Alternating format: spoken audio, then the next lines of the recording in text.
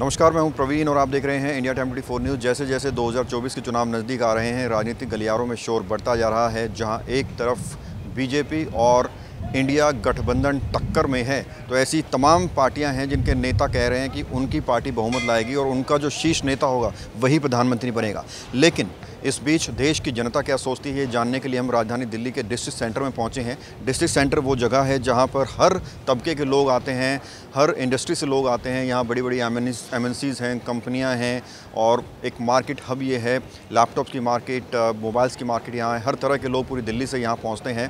तो यहाँ लोगों से जानेंगे कि उनके दिल में क्या है और यहाँ ऐसा भी नहीं है कि किसी पर्टिकुलर एरिया में हम चले जाएँ, उनका नेता जो है आम आदमी पार्टी का है तो आम आदमी पार्टी की तारीफ़ उन्हें करनी पड़ेगी। ऐसा भी यहाँ कुछ नहीं है। निष्पक्ष जो जनता की राय है वो यहाँ हम लेंगे। आपका नाम क्या है? योगेश तोशखानी चौबीस के चुनाव नज़दीक आ रहे हैं। किसको प्रधानमंत्री के रूप में देखना चाहते हैं? क्या लग रहा है आपको? ऐसा है चौबीस के इंतज़ार में है अभी भी। मगर ये जो काम चल रहा है इनका जो सफ़ाई का है कुछ है आधा सफ़ाई हो रही है दिल्ली में आधी सफ़ाई नहीं हो रही है। निकासी का काम पेंडिंग ऐसे ही है एज इट इज़ किस कौन सी पार्टी को टारगेट कर रहे हैं?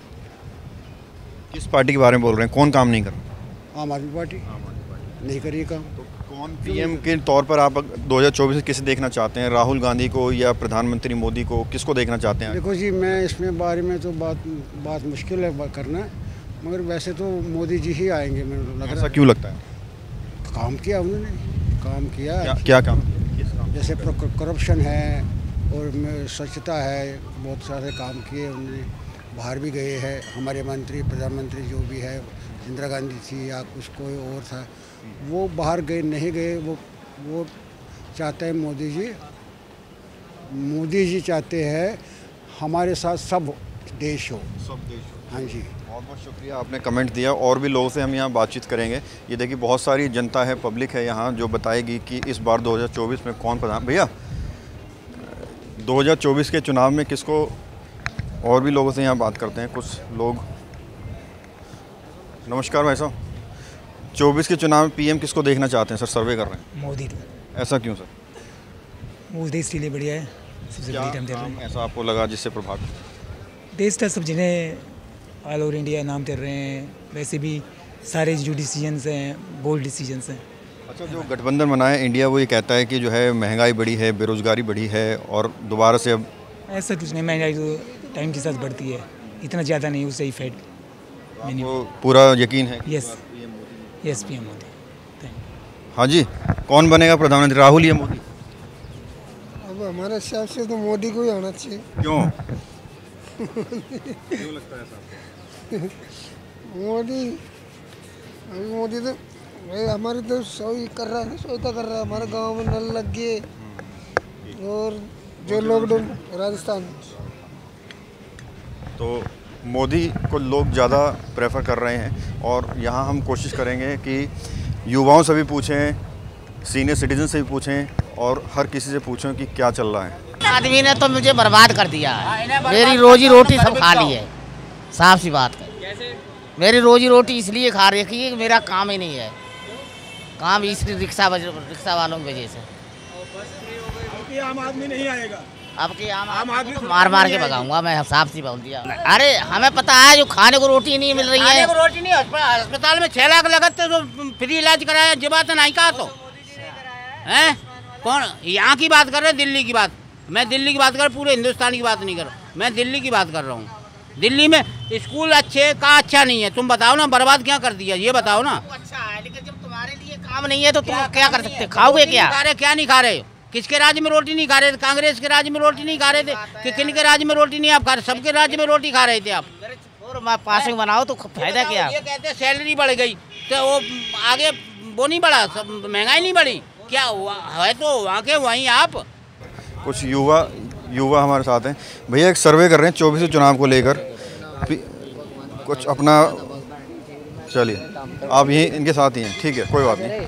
तो कुछ लोग बोलना चाह रहे हैं कुछ नहीं भी बोलना चाह रहे हैं और जो यहाँ पर युवा वर्ग पहुँचा हुआ है वो हालाँकि नहीं बोलना चाह रहे हैं। हम कुछ और लोगों से यहाँ बात करने की कोशिश करते हैं और उनसे जानते हैं कि वो क्या चाहते हैं।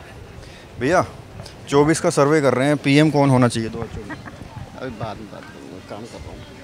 राहुल या मोदी? आएगा तो मोदी बट अभी मैं काम कर रहा हूँ। आएगा तो मोदी ही इस तरह से लोग जो है बातचीत कर रहे हैं। ठीक है? चौबीस में पीएम कौन होना चाहिए? राहुल या मोदी? या कोई अन्य? सर क्या कहेंगे थैंक यू नहीं बोलना चाहते हैं। चलो। क्या नाम है आपका? पीएम किसको देखना चाहते हैं चौबीस में योगी। योगी? यस ऐसा क्यों? अब वो देख लें अब। चलिए। तो लोग बोल रहे हैं योगी को पीएम होना चाहिए। यहाँ कुछ लोगों से सर एक सर्वे कर रहे हैं कुछ बोलना चाहेंगे चौबीस के चुनाव के बारे में? अपना एक निष्पक्ष राय दे दीजिए कौन पीएम होना चाहिए? मोदी योगी या राहुल या कौन होना चाहिए? मोदी होना चाहिए। मोदी। मोदी मोदी। काम अच्छा कर रहे हैं अच्छा काम कर रहा भैया। क्या क्या काम है? हाँ बोलिए बोलिए मैं पकड़ लूँगा। कब आएगा ये लाइव आज तो आज ही आ जाएगा। किसको बनाना चाहते हैं मोदी को। ऐसा क्यों?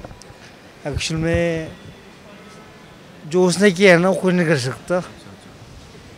उससे असल में कोई है ही नहीं इस टाइम पे जी। मोदी और मोदी। मोदी और? मोदी। मोदी ने बहुत अच्छा काम किया हमारे लिए। जो भी किया बहुत अच्छा। जब जन तीन सौ सत्तर हटा दी धारा। और ये क्या नाम आपको बताएँ आप? राम मंदिर जन्मों से बन रहा है। हज़ारों लोग कट गए मर गए। कभी नहीं बना था। वो मंदिर बन लगा हम हिंदू हैं गर्व से कहते हैं मोदी को वोट देंगे। तो ये देखिए अलग अलग लोग हैं अपनी अपनी राय दे रहे हैं और और भी लोगों से पूछेंगे। सर सर 24 के चुनाव आ रहे हैं कौन पीएम होना चाहिए? राहुल या नरेंद्र मोदी। नरेंद्र मोदी का ही काम है बस। क्या काम आपको पसंद आया? सब कुछ। अब और कुछ नहीं। चलिए। हालाँकि लोग यहाँ जो है बोलने से बच रहे हैं। ज़्यादातर लोग यही कह रहे हैं कि वो बोलना नहीं चाहते हैं। कुछ भी रीज़न हो सकता है। हम उस पर कमेंट नहीं करना चाहते। लेकिन लगातार हम लोगों की राय इसमें लेना चाह रहे हैं। पब्लिक की राय लेना चाह रहे हैं और उनसे पूछना चाह रहे हैं कि वो 2024 में किसको प्रधानमंत्री के तौर पर देखना चाहते हैं। कैमरा जर्नलिस्ट प्रशांत सप्रवीण, इंडिया टाइम ट्वेंटी न्यूज़। खबरों से खबरदार रहने के लिए चैनल को सब्सक्राइब करें और प्रेस करें बेल आइकन।